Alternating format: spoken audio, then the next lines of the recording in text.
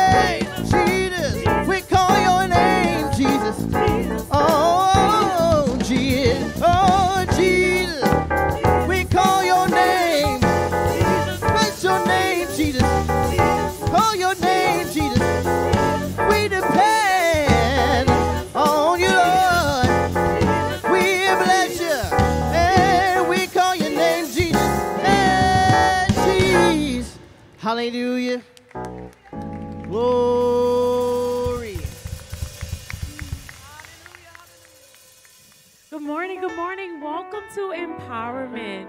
Thank you all so much for joining us today. If you got a chance, make sure that you go in the back, get you some coffee, get you some tea, hot chocolate. Mm. We have a station in the back for you. Also, if you have a young one with you under the age of two and you need to step out for the moment, we do have a calming room where you can still be able, be able to stream the service.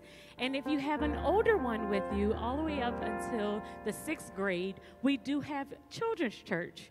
We have our youth, our E team in the back that you can get your child checked in and you're able to be ministered to on their own level, right?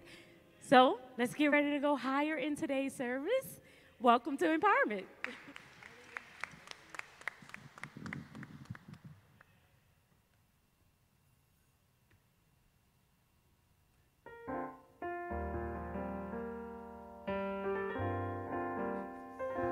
Thank you, Jesus.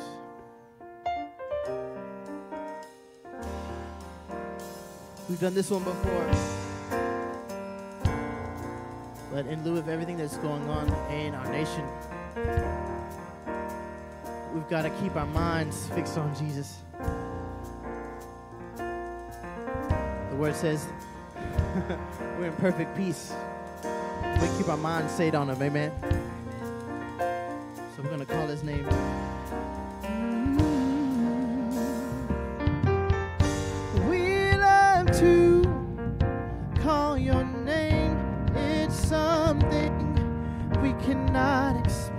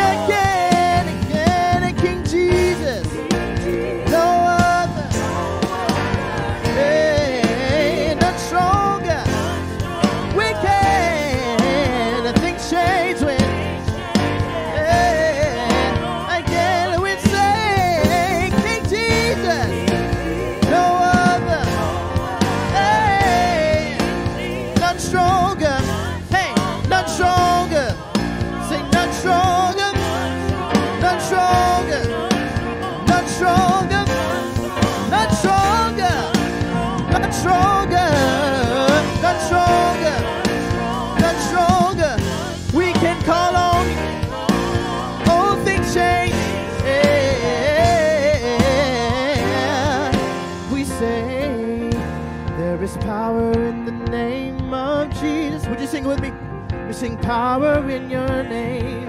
Hey, there is power in the name of Jesus. Power in your name. We sing there is power. There is power in the name of Jesus. So much power in, power in the name. Say there is power. So much power in. One more time we say power in your name, Jesus. There is power in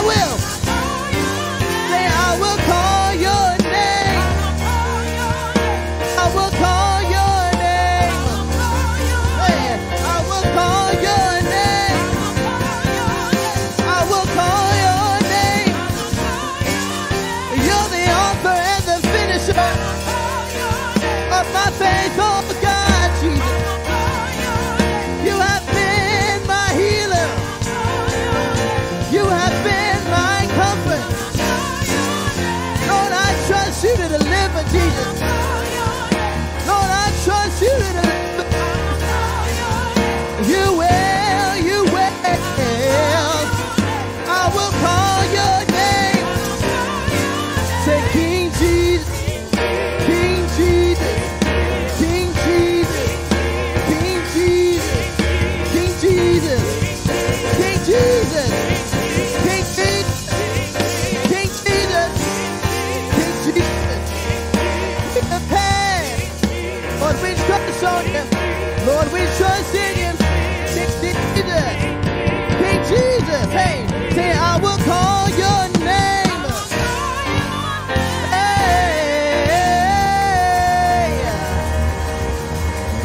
Somebody shout Jesus true. Hey. Lord, we need you. Lord, we need you.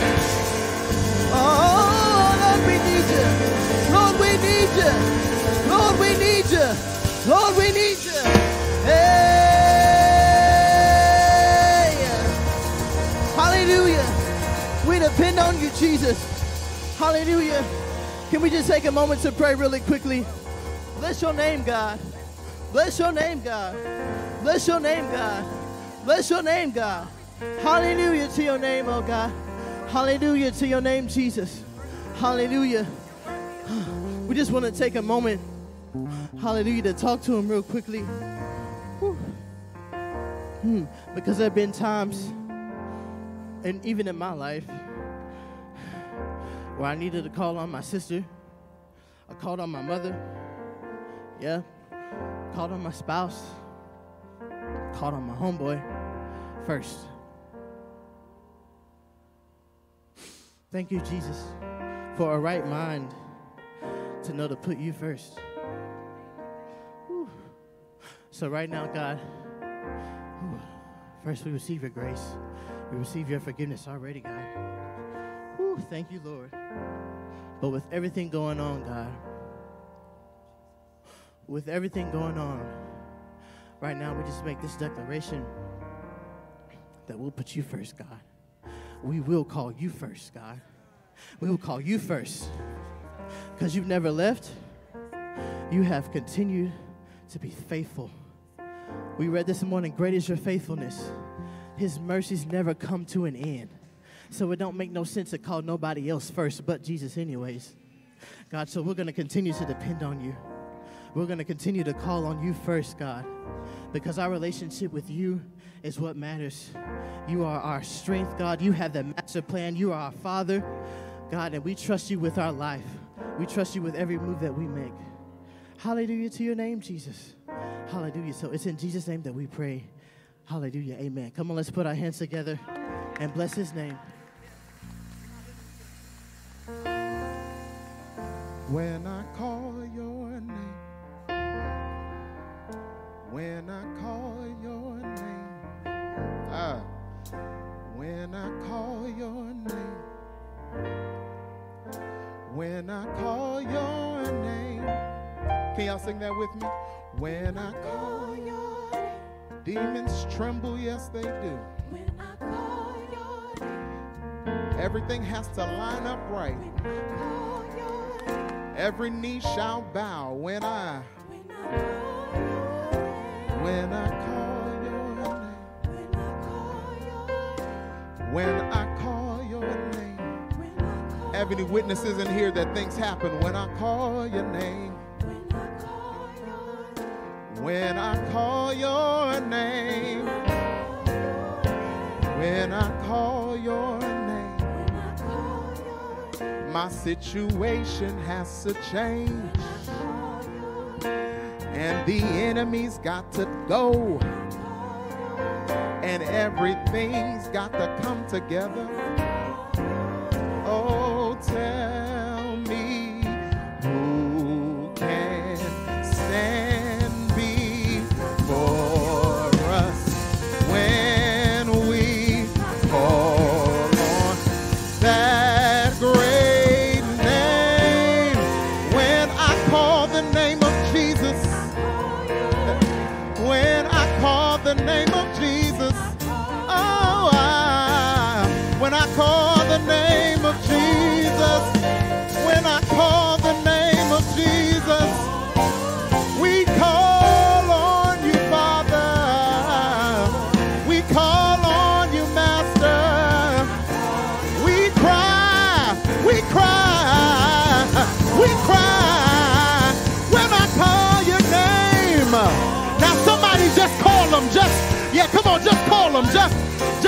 Up your mouth and call the name Jesus. Jesus.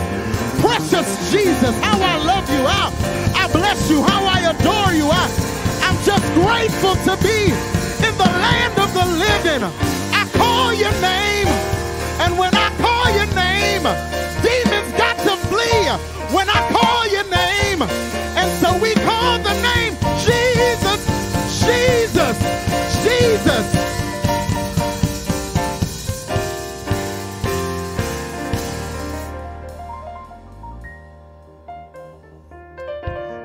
Lot of things, don't we, when stuff is going wrong, Kim? Do a lot of things. Girl, can you believe what he? Bro, can you believe what she? And look, gotta call on people. That's what we're here for. Some of us turn to the bottle. Some of us turn to that man or woman that we know, not the one that we're supposed to be turning to. Somebody say amen. Turn to a lot of things. Some of us turn to work. I'm gonna just throw myself in my work to just escape from all of the craziness that's going on.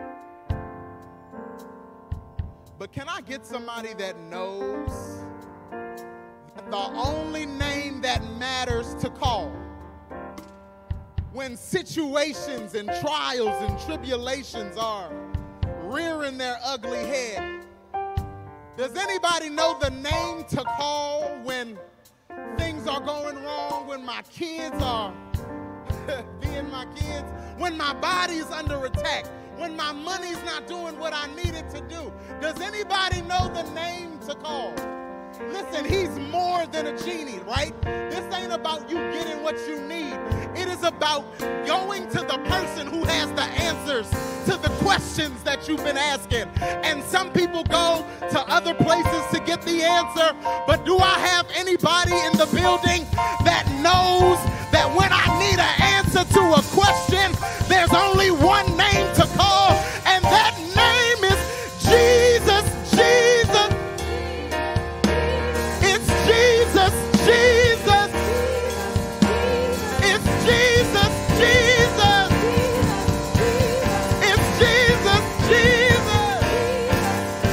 What's his name? His name is? Ah, what's his name? His name is? His name is so sweet to me. Call your name. And so, Father, we come in the mighty, matchless power, powerful name of Jesus, the Almighty, the the all sufficient one, the one who can meet every one of my needs, the one who's always been there and never left me, the one who, when I couldn't call on my friends and family, when my mama and my daddy and my brother and my sister and my and my cousins and my children didn't understand, the one that I could always call on. Father, we come to you in the name of Jesus to say, Father, we need you. Uh, Father, we need we need you in our building today. We need you in our community today. Somebody lift your hands if you need him in your family today. If you need him in your body today. If you need him in your money today. If you need him in your loved ones today. Ah, we come in the name that is above every name. The name that makes demons tremble. We come in the name of Jesus to say, Father, we need you. We want to have an experience with you. We want to, we, we don't want to just experience you here. Come with us, God. Go with us while we're in here giving you praise and worship. Go to our situation out there and do what you do. God, come in this place. Move in this place. Stir up hearts and stir up minds. And Father, at the end of the day, we'll give you all of the praise, we'll give you all of the worship, and we'll give you all of the glory. It is in the name of Jesus that we do pray. Somebody just shout, Amen.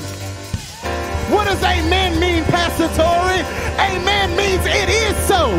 And does anybody believe that it is so? What, what are you believing God for?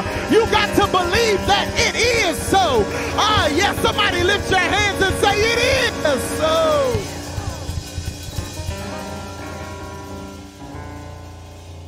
Woo. We greet you. I'm so, I didn't have a chance to greet y'all earlier. Hey, y'all, I'm Pastor T, uh, and I'm just so excited that you all are here worshiping with us. We appreciate you, those watching online. Thank you for your patience while we got those technical difficulties figured out, but we appreciate you. Listen, we're getting ready to go into the Word. We are so excited. Could y'all do me a favor? I don't know if she's watching, uh, but our keyboard player, her name is Lauren.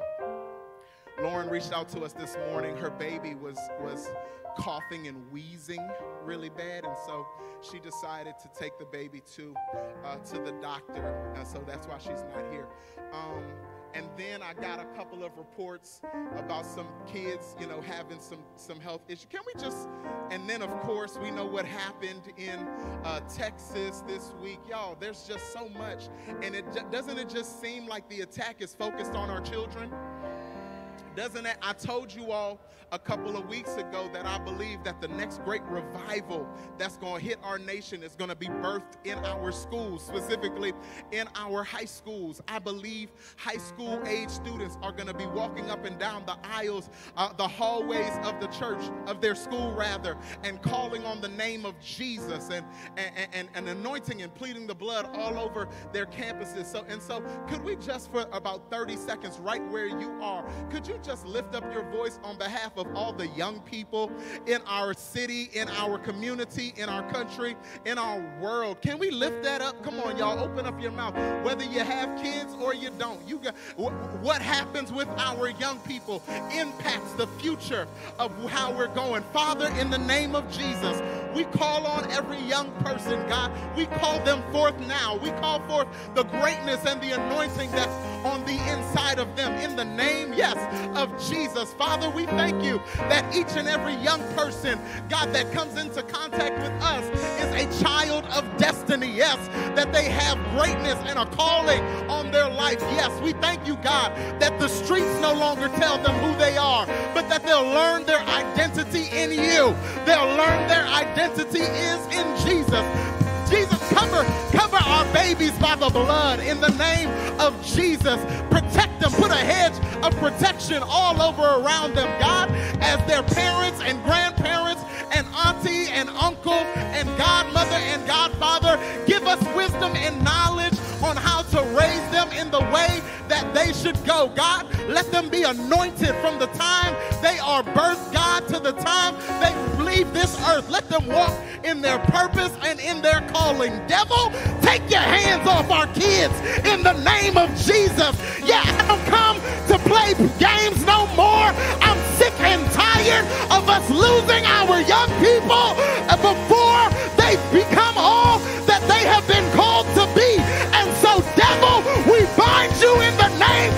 Jesus. Take your hands off our kids. Take your hand off our future. Take your hands off of God's anointed in the name of Jesus. Let them walk and be filled with the Holy Ghost, even from the time that they're young. Let it happen and let it happen for them now. In the name of Jesus, we pray. Amen. Somebody lift your voice and just bless the name of God the future. Yes, yes, yes, yes, yes, yes. They shall be all that God has called them to be. Yes, in the name of Jesus. Yes.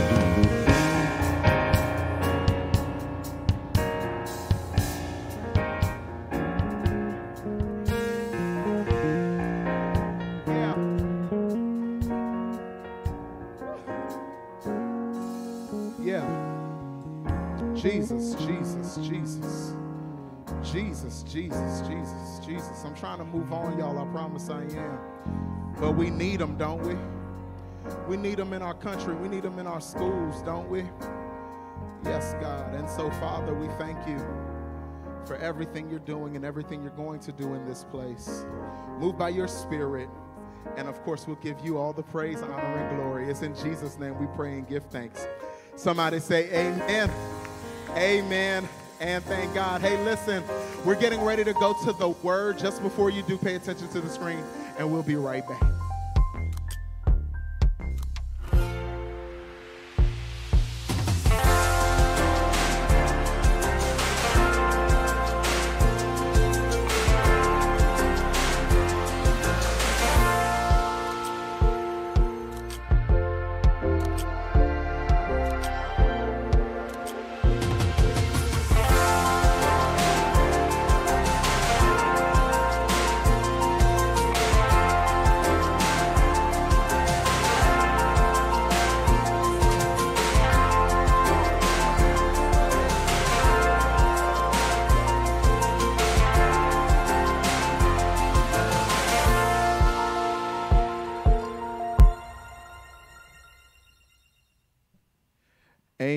Somebody, just one more time, bless the name of the Lord today. Happy Sunday to you all. Of course, we give God praise for each and every one of you for being here uh, today. We are so excited about what God is going to speak to us. Of course, we do remember those. Uh, tomorrow is uh, Memorial Day. I learned from someone in the armed forces that it's I mean, you know, it's not inappropriate, but, you know, uh, to say happy Memorial Day. Uh, because Memorial Day is the day that we remember those uh, who made the ultimate sacrifice, who gave their life uh, in, in, in military service. And so it's a time to reflect and to remember. Uh, do we have anybody here that served in the armed forces at all? Yes. Okay. Yeah. Thank you. Thank you for your service. Thank you for your service.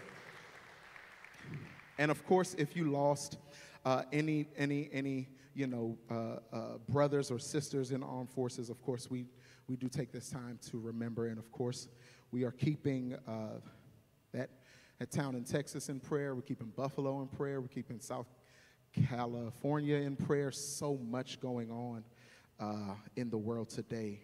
And, you know, Jesus is the answer.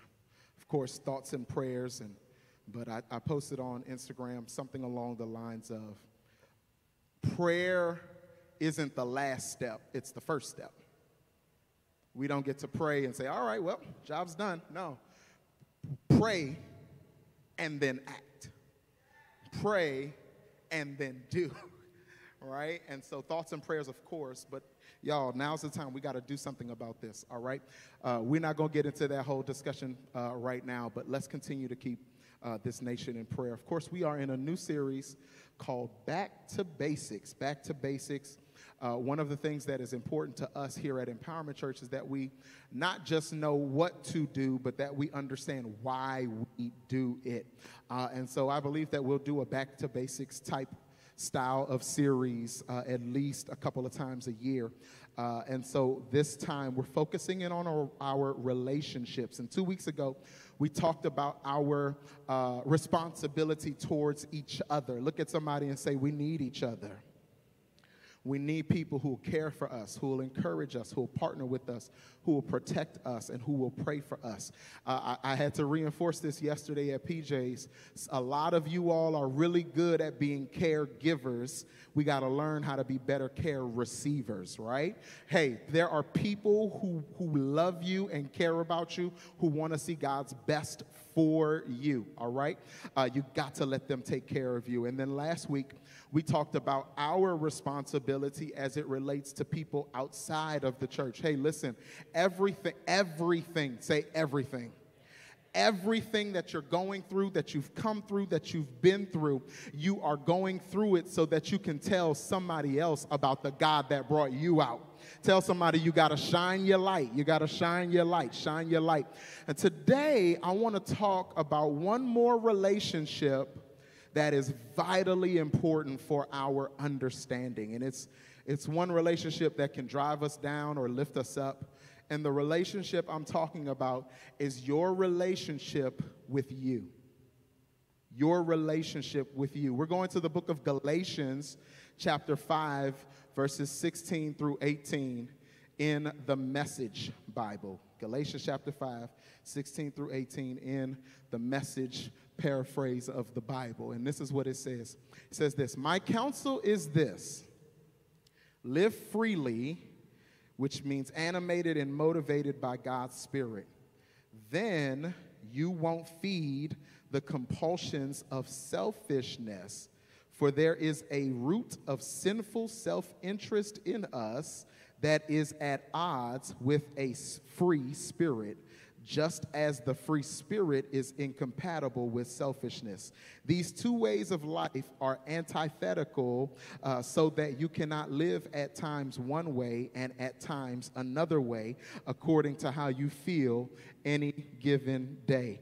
Why don't you choose to be led by the Spirit? Somebody lift your hands and say, I want to be led by the Spirit. I want to be led by the Spirit. So, during the 2020 quarantine, Elena and I uh, were looking for something to keep us from losing our minds. Uh, And so we got into Marvel movies. We watched the entire MCU, uh, not by release date order, but by timeline order. So now we're like, we're Marvel people. We're all into it. Of course, we saw Doctor Strange, but just before that, there was a series on Disney Plus called Moon Knight. And it's basically about a superhero who has multiple personalities. It reminded me uh, of a movie titled Split by a director named M. Night Shyamalan that was released in 2016. The film stars James McAvoy, who portrayed a man named Kevin Crumb, who suffers from dissociative identity disorder, uh, what we used to call multiple personality disorder. And while it's portrayed in a very imaginative way, uh, in the movie. The fact of the matter is that dissociative identity disorder is a very real thing and it's characterized by having at least two distinct personalities amongst a host of other things, right? You know, memory loss or forgetfulness, anxiety. Uh, but the part that caught my attention is this each of the different personalities has different physical and physiological characteristics. For example, one personality requires glasses because their vision is impaired. The other personality in the same body requires no glasses. That is strange to me. Uh, in other words, it's a mental condition that has different physical expressions. And while none of us in here, at least I hope none of us in here, has 23 different personalities living inside of us, although some, of, some, some spouses are looking at their spouse like, ah, you got at least five in there. No. the truth is that all of us have at least two. There is a fleshly side and a spiritual side, a heavenly side and a humanly side. And just like uh, dissociative identity disorder, each of our sides has a unique physical expression. Let me prove it to you. Somebody lift your hands in worship right now. Come on, just lift them. Yes. And just tell the Lord, thank you. Hallelujah. Come on, just tell something to him. Yeah, yeah. Now, with those same hands lifted, imagine you in traffic in a rush and somebody cuts you off this holy hand gonna become an unholy finger. And that same mouth that you just said hallelujah, get the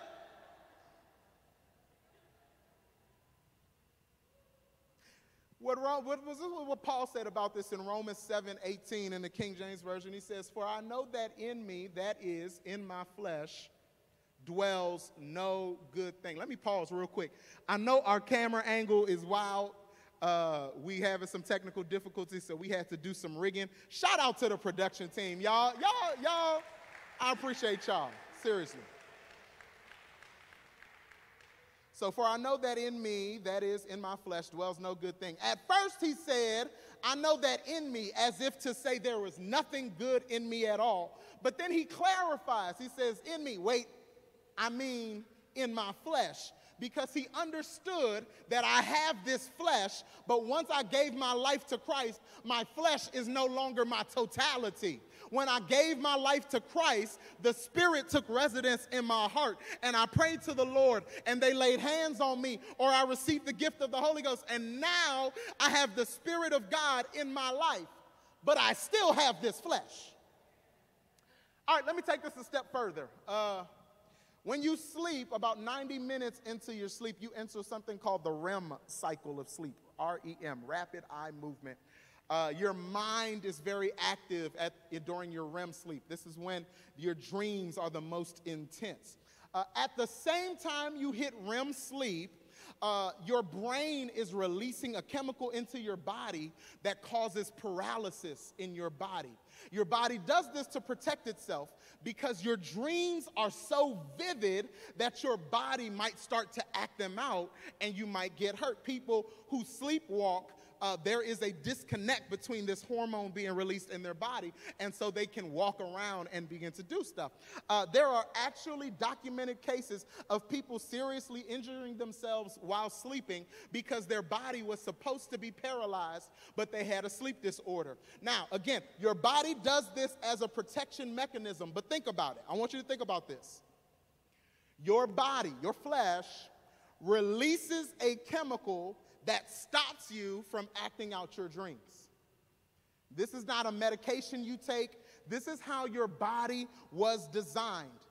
Let me say it this way Your body is designed to stop you from living out your dreams.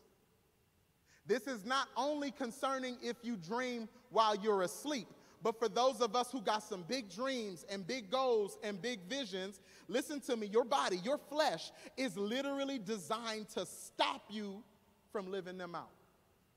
Isn't that crazy? Okay, I'm gonna take this a step further. I'm building somewhere, I promise. I'm gonna take this a step further. James chapter 1, verse 17. It says, Every good gift and every perfect gift is from above. Okay? That includes your dreams, your visions, your passion, your goals. If they are uh, directed by God, they are good. Everything that's good came from God. Okay? Now, Romans 7:21, Paul says this: Although I want to do good, evil is right there with me. In other words, when I want to do the good thing God has told me to do, there's always something right there telling me that I can't or I shouldn't or I won't.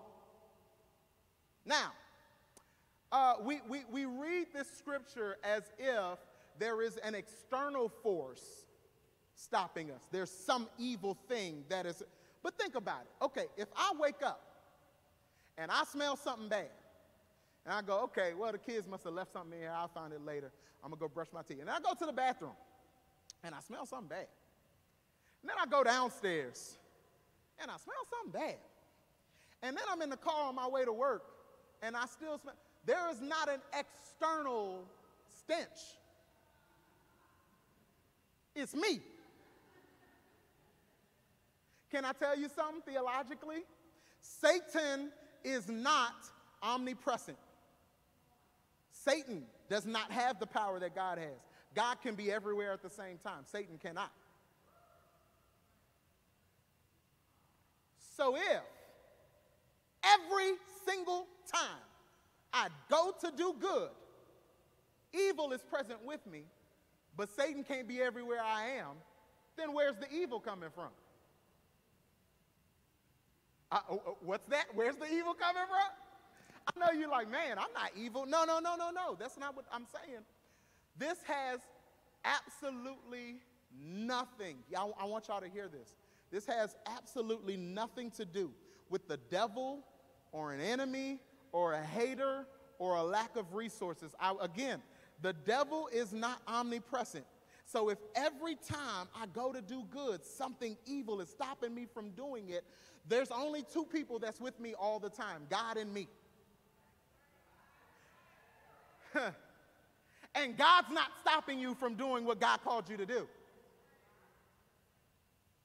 Can I tell y'all something? This is, this is, you know, we spent a lot of time casting the devil out of situations he was never in.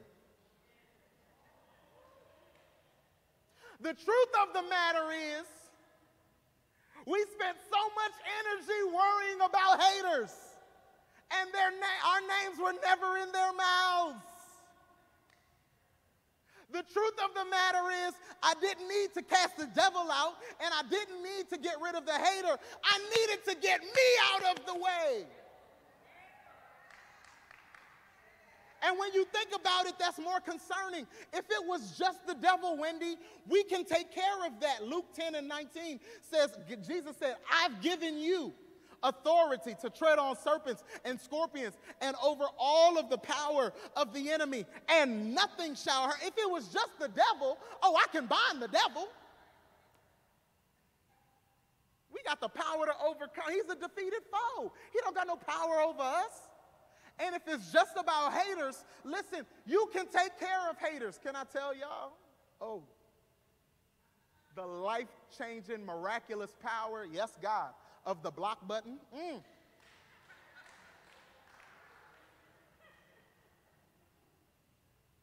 You don't have to interact with anybody that doesn't mean you well. You don't have to. You can block them on Facebook. You can block them on Instagram. You can block them on Twitter. You can block them from texting you. You can block them from calling you. You never have to interact with them if you don't want to. The real challenge is how do I block me from me? So I'm done. I'm now walking a little heavy. Y'all okay? Y'all all, y'all all right? We're gonna be okay. I promise. We're gonna come up for air in a second. Now, this is not to say, I gotta say this because I don't wanna take it too far. This is not to say that there is not an enemy that attempts to get to stop us from doing what the Lord uh, said for us to do. And this is not to say that you don't have people who want to see you fail, but this is to say that the first and greatest threat to your destiny is not some external force, rather, it is your own flesh. And this is challenging because the devil's very sneaky, but he didn't make you, so he doesn't know you. And your haters don't like you mm, probably because they don't know you either. But your flesh knows exactly what to tell you to get you to stop yourself. And not only that, if you remember what I just said about dreaming, your flesh does this because it thinks it's trying to protect you. And so the excuses that the flesh comes up with are at the very least reasonable. You know what? I think I'm going to work out. And your flesh goes, the knees, the knees, you can't. You sure you having knee problems? And you end up doing nothing because your flesh, not the devil, has convinced you that trying is more dangerous than staying. And then when the diabetes kicks in, Torrey, we bind the devil. Devil didn't drink five, six cokes a day. Torrey, you did. Can I tell you that I believe that there are some of us who are in here who have been losing this fight so much because you were in a fight you didn't even know you were engaged in. At some point, I'm gonna, I'm gonna talk about this differently too. At some point, we're gonna talk about how, um, how the flesh is designed. The flesh is designed. We'll probably talk about it next week. The flesh, the Bible says, is enmity with God. Can I, let me tell you something. You will never train your flesh to live for God. Ever. Your, listen to me, your body will never desire kale more than it does french fries. Ever. Ever. This isn't about, un, this isn't about, you know, the, the flesh is doing what it does. And can I, let me tell you something else that you probably won't hear a lot of preachers say. You need your flesh. We got any kids in here? Okay. When Elena and I made our children, we did not do it by the Spirit. You need your flesh for some things. The bread of life is great, and you're going to consume the bread of life. But at some point, when your stomach is hurting, you got to eat. You got to eat. That's a you need your flesh. So this is not about destroying the flesh or burying the flesh. This is about putting the flesh where it's supposed to go, and the flesh is supposed to go under the spirit. This is not about getting rid of flesh. This is about strengthening your spirit. The question is how? What can you do to strengthen your spirit so that you can start to win some of these battles that you've been losing?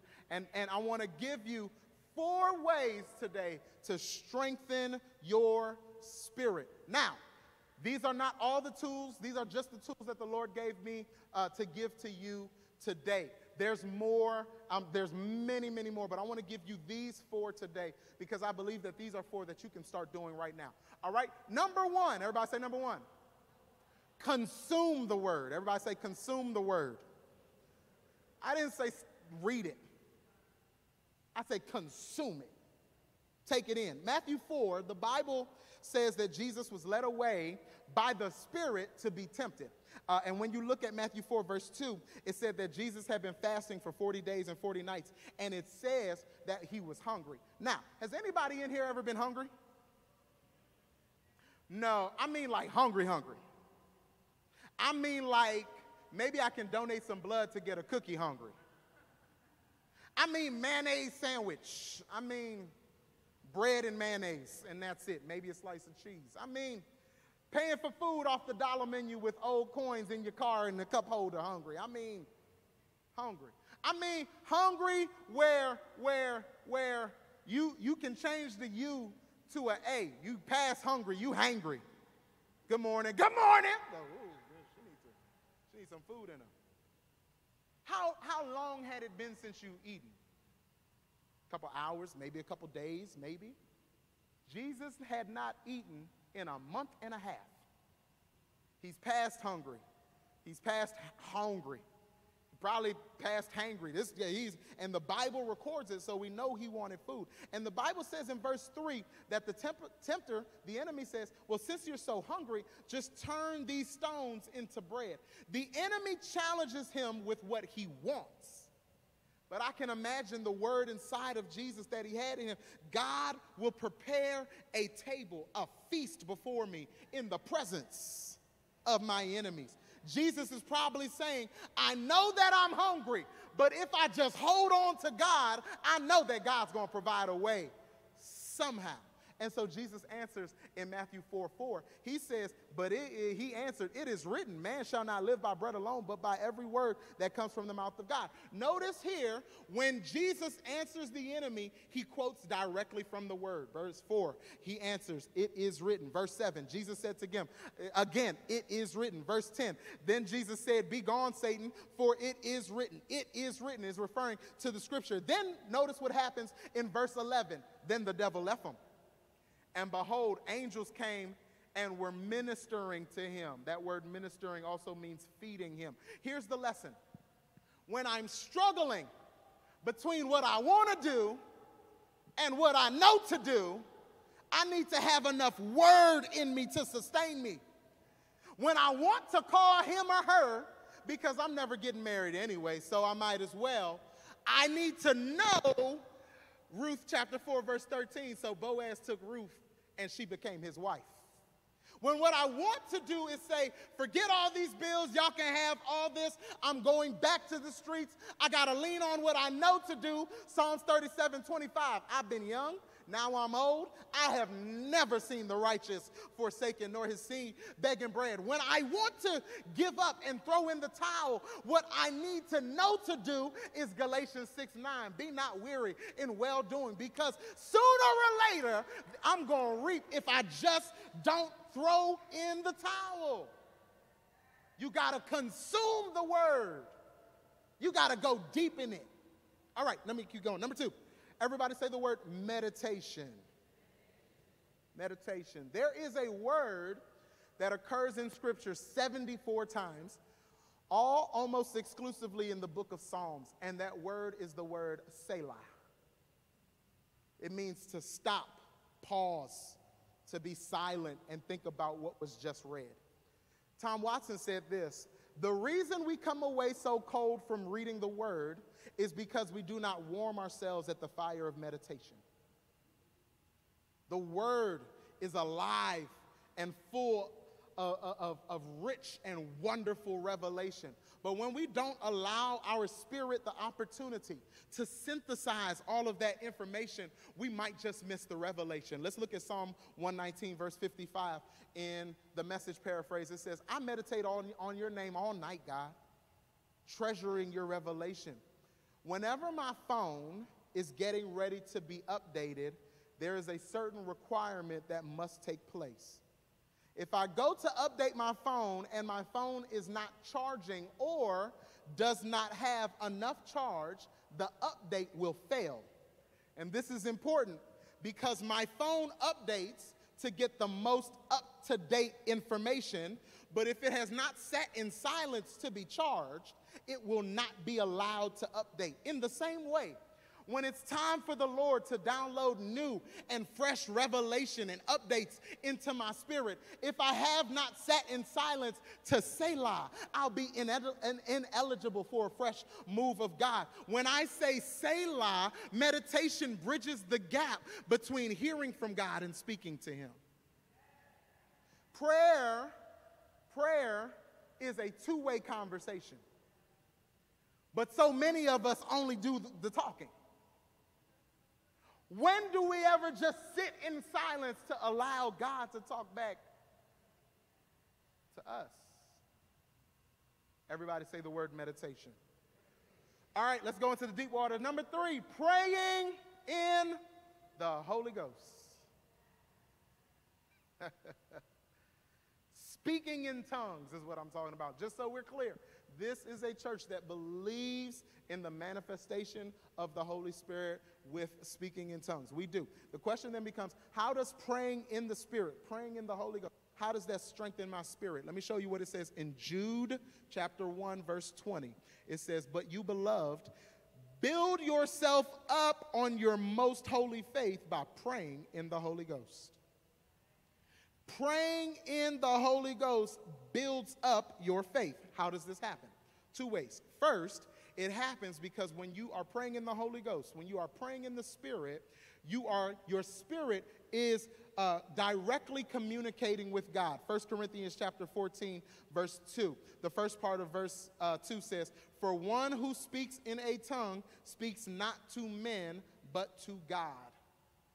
Sometimes I need to talk directly to God to get through this inner battle that's going on. When you, you, you ever been in elementary school and you have an elementary school bully, you can, I mean, if I'm in fifth grade and you in fifth grade, all right, we're going to square up. But if I am in fifth grade and you're a high schooler, well, I need some extra, that's when I go get daddy involved, a big brother involved, okay? All right, because this is something bigger than I can handle. When I pray in the Holy Ghost, that's my way of saying, oh, what I'm dealing with, I don't have the expertise, I don't have the knowledge, I don't know how to make this work. So, Daddy, I need you to go ahead, come on in, step in, take care of this for me. And guess what he does? Second Timothy chapter 4, verse 18, the Lord will rescue me from every evil attack and will bring, me, bring me safely into his heavenly kingdom. I, I, I sometimes I gotta call in reinforcements. But secondly, and more importantly, is this praying in the Holy Ghost bypasses the internal enemies of your faith. I'm going to show you this.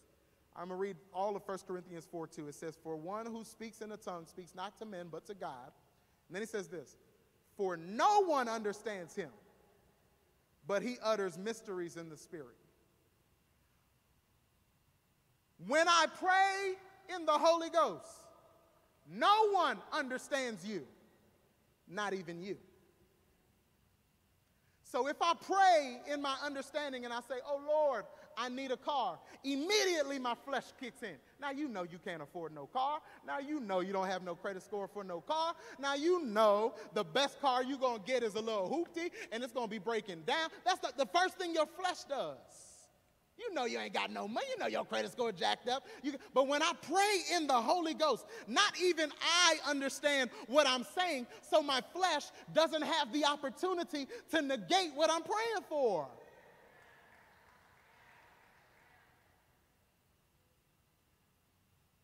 It's, it's, it's so interesting. It's so interesting that, you know, when it, every time you go to make a move, especially when you go to make a move for God, immediately flesh starts telling you why you shouldn't, why it's more comfortable to not, why it's more comfortable to just stay. But can I tell you something? I said this last week, I think. I don't remember when I said this, all running together. God is found in the areas of your uncomfort, discomfort. If you only do what's comfortable for you, what you need God for? I got to step out. Peter, Peter couldn't walk on water. No human can walk on water, but he stepped out to do the impossible because he knew God was right there if I fall. Can I tell you? Uh, this is now this ain't in my notes, but there's some, some of y'all are in here. Y'all haven't gotten the things that you've been praying for because you've been playing it too safe and trying to be too comfortable. It's time to take the step. Out. Either God is God or He ain't. Either I can walk on water or I can't. But can I tell you something? If I go to walk on water because I was listening to God and I start to fall, that means when I lift up my hand and say, Help me, He's going to be right there to pull me out. Or I can stay in the boat where it's comfortable. Or I can stay in the boat where it's cool. I don't have to worry about drowning. I don't have to worry about sinking. Or I can step out and go with God. Okay. All right. Number four. This is it. Joining a church. Joining a church strengthens your spirit. Strengthen our spirit by consuming the word, by meditation, by praying in the Holy Ghost. And number four, by joining a church. Church strengthens our spirit in two ways. First, it's the place where I can come to learn more about God, who He is, and His plan for our lives. The Bible says in Romans 10 17 that faith comes by hearing and hearing by the word of God. But just a few verses earlier, it says, How can they hear without a preacher? Church strengthens our spirit uh, because it's the place where we hear the word of God through the preaching and teaching as directed by the Holy Spirit. But understand this, I want y'all to hear me. The act of walking into the church building does not, in and of itself, strengthen the spirit. Because it's not the church building, it's the church community that strengthens the spirit. It's being surrounded by people who are trying to win their internal battles, just like you are. And this is why Paul said in Romans 1 and 12 that we mutually encourage each other's faith, both yours and mine. I encourage your faith, you encourage mine. Paul said that when we get together, I'm not just coming to encourage you, I need you to encourage me too. And when you do, we'll encourage her, and then she'll encourage her, and then she'll encourage him, and then we'll all leave and be more encouraged. And by the time we leave this place, our spirits are going to be on fire. We're going to feel like we can conquer the world. Not only that, I told you, come on, Austin, I'm done. I told you that there is an internal battle going on between our spirit and our flesh, between what we know to do and what we want to do. And inevitably, it happens every time. You're going to reach a point where you will yield to the flesh instead of the spirit. It's gonna happen. Look, look at your neighbor say, It's going to happen. You are going to fall. You're gonna make a mistake. You're gonna slip up. You're going to, it's, it's, you're going to want to do good all the time, but evil is always present. And one of these times, you're going to cuss them out. You don't want, no, no, no, no, no. We're not glorifying it. We're not glorifying it. Listen, I'm trying my best to hold it and not say anything and be a good Christian and be a good this and be a, but they just kept picking at me and you know what? I went off. Anybody ever been there before? Some of y'all ain't lifted your hands this whole time.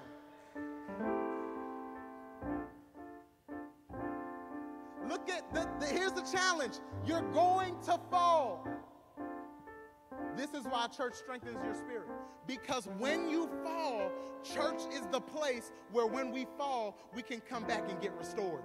Look at Galatians chapter 6, verses 1 and 2 in the New Living Translation. Dear brothers and sisters, if another believer is overcome by some sin, you who are godly should forcefully, no, should yell at them and tell them, You're going to hell say? Gently and humbly help that person get back onto the right path. Be careful not to fall into the same temptation yourself. Verse 2 Share each other's burdens, and in this way obey the law of Christ. This is why church strengthens your spirit because church is the place where I'm supposed to go and say, I'm struggling in this area and I need some help. And it's not the job of the church to judge and send that person to hell. No, the Bible says it's our responsibility to restore The challenge is when he first came in and said, I need help, I can't stop, we said, Oh, you can't go here. And when she came in and said, I can't stop using, we sent her to hell. And then when they stopped coming, then we sent them to hell because they don't come to church no more. I speak and say and declare over this house that Empowerment Church will be a place of restoration. This is a place that's going to be free of judgment The only thing we want people to feel when they come in is the love of God. And guess what? As they come and build their spirit up more and more, and their spiritual dog starts to win some fights, the atmosphere will change them. I told somebody coming in, he said, Man, I'm trying to quit these cigarettes. I said, Look, if you go from a pack a day to half a pack a day, you better praise the Lord. That is a testimony. Some of us, the challenge is some of us are saying, I'm only going to praise him when I'm totally delivered. But can I tell you, going from two to one is deliverance. Going from five to three, that's deliverance. The problem is we want the finish line, but we've got to understand this is a process. People are in process. So keep coming. Keep being built up. Keep being restored. Keep falling. We're going to keep picking you up. Yep, yep, we sure are. We sure are. And one day, here's what's going to happen. One day, their spirit will become so strong that they'll be able to win it on their own. And then guess what happens? Their life becomes a testimony that God did it before and God can do it again. That's why John said in Revelation 12 11, they overcame the enemy by the blood of the Lamb and by the word of their testimony. The blood gave us salvation. But to overcome this internal struggle, I need your testimony. I was talking to somebody and I said, I think our next communion service might be a good old fashioned testimony service. We might just open up the floor and just let people share how good God has been to them. Because I need to know that I'm not the only person to have dealt with this. And I need to know that if God can bring you out, then He can bring me out. And little by little, our spirit gets stronger and stronger, and we start to win some battles that we used to lose. Little by little, I go from always cursing you out to going, you know what? Not even working. it. Used to catch me, catch me five months ago. Catch me five months ago. You say the right thing, you're gonna get everything. And now, just being amongst these people, being in this community, doing the growth track and being a part of a small group and learning about God and seeing about how other men and other women of God can conduct themselves, I'll start to go, you know what? Say what you want. I'm believing that you can become unoffendable no matter what is said to me. What can you say to somebody that to rattle them that can't get rattled? What can you say? No matter what you say, you ugly. Hmm. My wife think I'm cute. You fat. Oh, want me to love. What, what, what, what you, what you? The challenge is too many of us. Flesh been winning. Flesh been real strong. But as you keep coming, as you consume the word, meditate, pray in the Holy Ghost, keep joining, being, being a part of a community. Some of the battles that you used to lose, you start to win little by little. As we come and we are a part of a community and we share with each other we learn from each other. You thought, can I tell you, it's a trick of the enemy to, to get you to believe that you're the only person going through what you're going through. Can I tell you that? He's trying to get you to think you're in isolation. No, y'all. Everybody, say somebody say everybody. Everybody got something.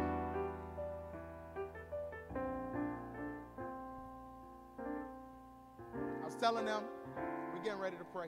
I was telling them about the prayer ads that we posted up on Facebook and how folks have been sending in their prayer requests and we've been praying for folks and it's been just such a blessing. But y'all, you should see some of these prayer requests.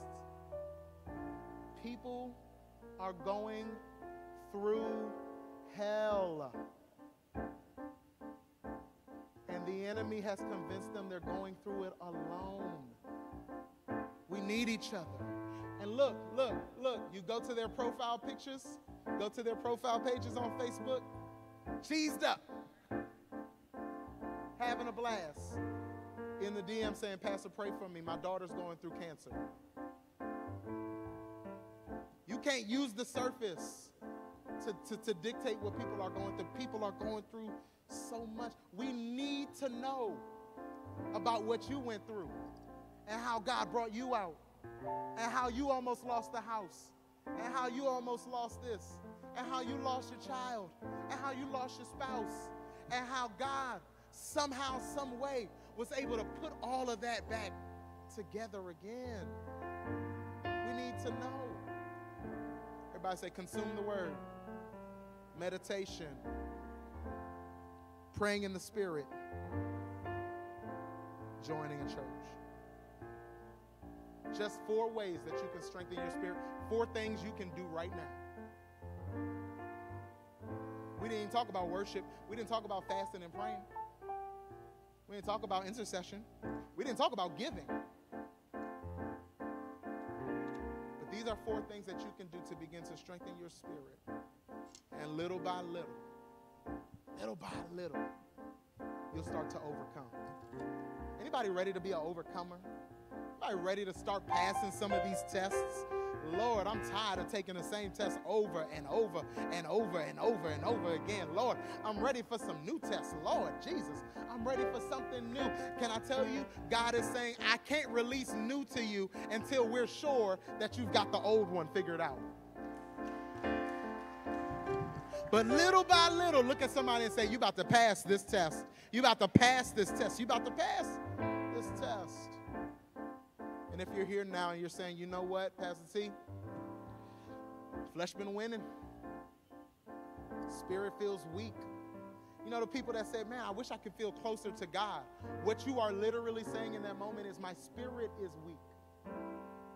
Missing a connection to God. If you're here, you're saying, man, Pastor T, my spirit's weak. I need, I need to get connected. I need to get connected first to God and then to this community. If you're here and you're saying, you know what, I need, I need a relationship with Jesus. I, I need to make sure that He is the Lord of my heart.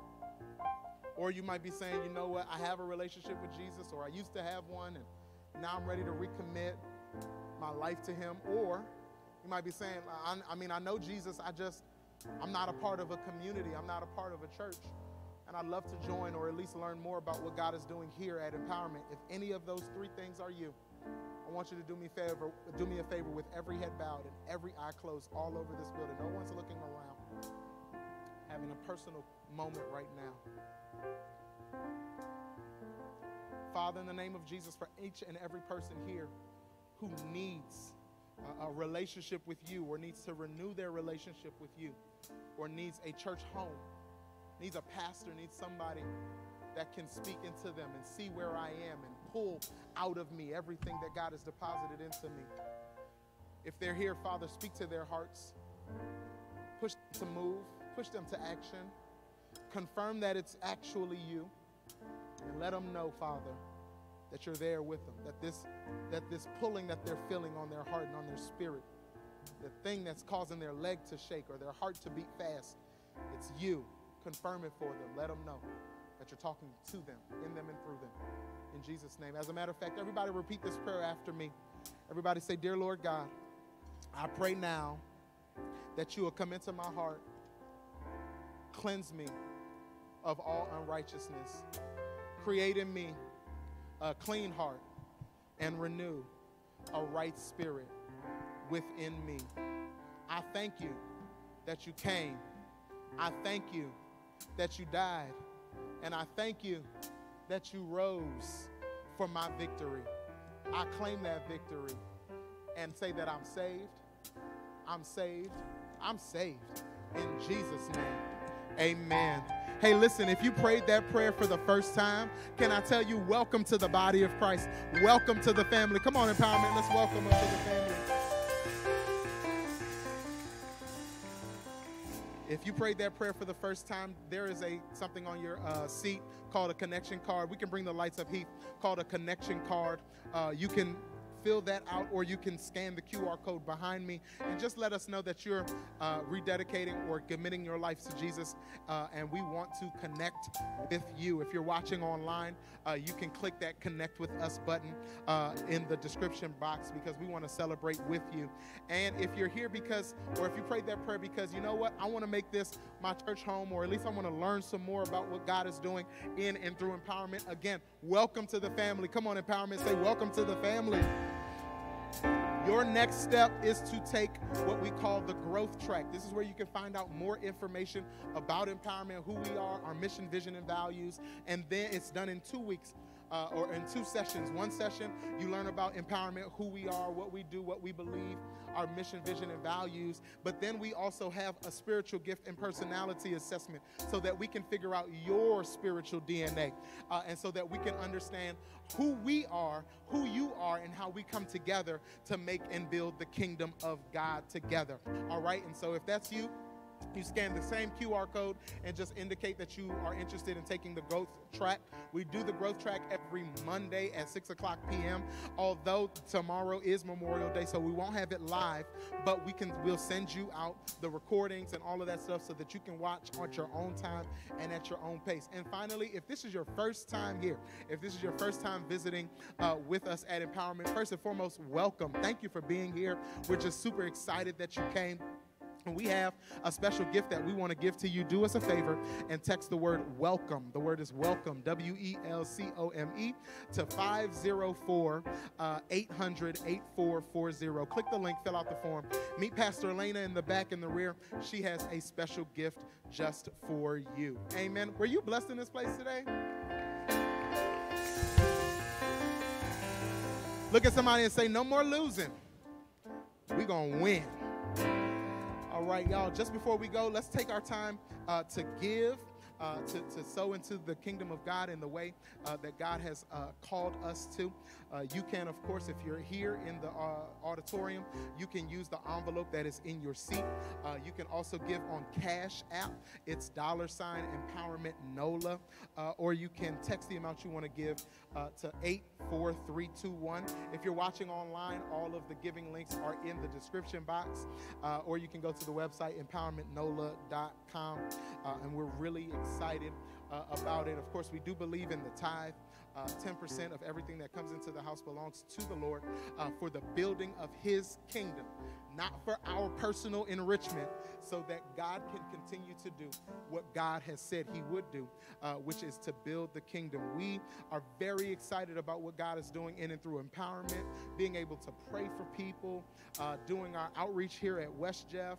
Beginning in the new school year, we'll do our monthly outreaches at Helen Cox as well.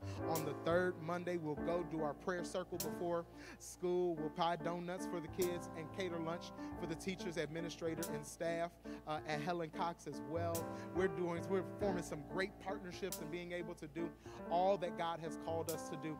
Uh, but the way we scale that up and the way that we're able to do that is through your generosity. So thank you. Thank you, empowerment. Thank you, people of God, for being generous uh, and for sowing uh, into what God is doing here. Uh, while you're giving, while you're giving, we are asking folks again uh, to sign up to serve. We have a thing here where we say serve one Sunday a month. Just one Sunday. One Sunday, you can come a couple, like an hour early and help us put out chairs or set up equipment or hang lights or whatever it is one Sunday a month. And this is how it goes. A lot of people don't, you know, serve in church because it's like, man, I don't want to give up every Sunday. No, we're not talking about every Sunday. We're talking about one, everybody say one Sunday a month. Go and help the kids one Sunday a month. Come a couple hour or an hour early to help us set up one Sunday a month. Come and serve and, and volunteer and do camera and, and hang lights and all that stuff and be in the parking lot one Sunday a month. Everybody say one Sunday a month and the way this works. Come help us set up coffee and, the, and everything that happens. And the way it works is if you do one Sunday and you do one Sunday and you do one Sunday and you do one Sunday, we have an entire month covered. And all you had to do is one. I can't wait. I can't wait uh, until until our youth teachers are able to come and sit in one Sunday, right? So that they can get some of this word too uh, and worship with their families. One of the things that I used to that used to very challenge me when I was working in ministry was not being able to worship next to my wife. Yeah, we want our families to be able to worship together every now and then, but it only works if we're all coming together. All right, all coming together. And so if you want to serve, just do us a favor. Text the word serve to 504 800 8440. Serve, S E R V E, to 504 800 8440. Click the link. There's some buttons. You can say, Oh, I'm interested in this, interested in that. There might be some things that you're interested in that we don't have. Here's the thing about being a church plant look, if we don't have it, it's because you haven't started it. Somebody came to me and said, I want to be a part of the prison ministry. I said, Hey, Ain't no prison ministry. If you want to be a part of the prison ministry, that means you want to start the prison ministry, right? Because, but that's okay.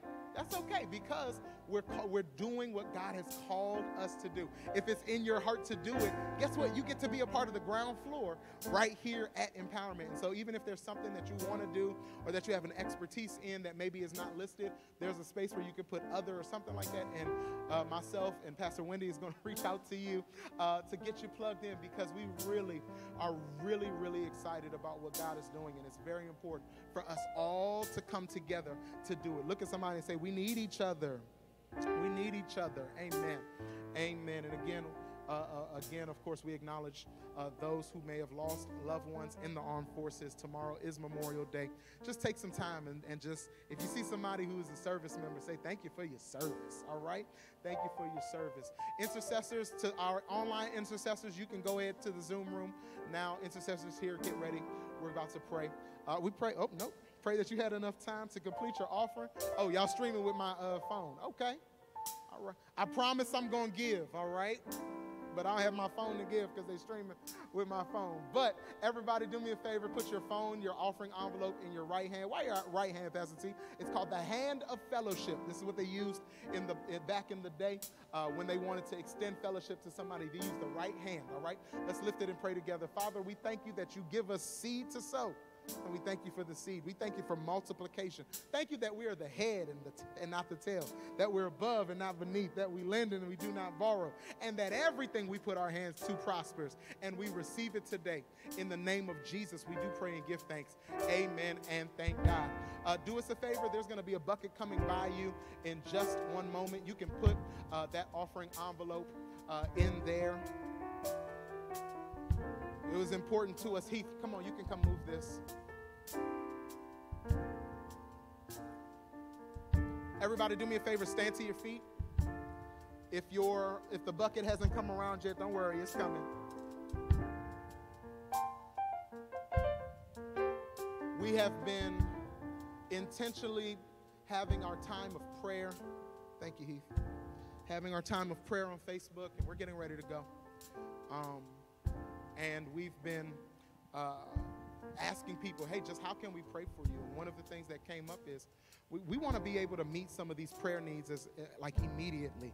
It's one thing for somebody to put in a prayer request and get prayed for, you know, a couple days later. It's another thing to come here and have somebody touch and agree with you. And so our intercessors are coming. Actually, we're going over there. We're going over there. Uh, Gaynell, Elvira, we can go this way. Um, if you'd like prayer, if you want somebody to touch and agree with you, do me a favor. Just line up along these bleachers because our intercessors want to touch and agree, pray with you, and pray for you. If you're watching online,